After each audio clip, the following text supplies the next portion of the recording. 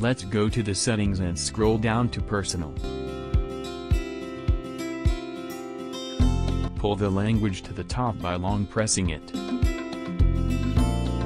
You also can press plus to add more languages.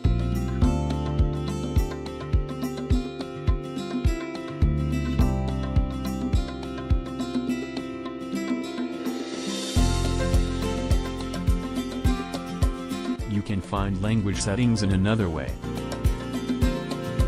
Go to more and scroll down to system.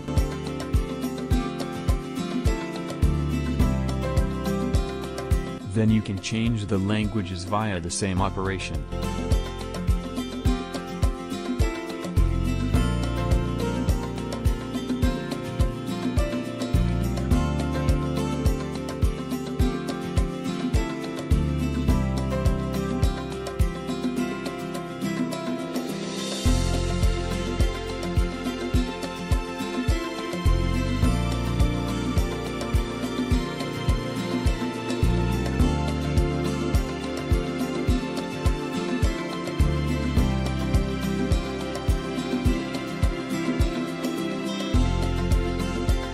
I think you also notice the date and time in the system setting.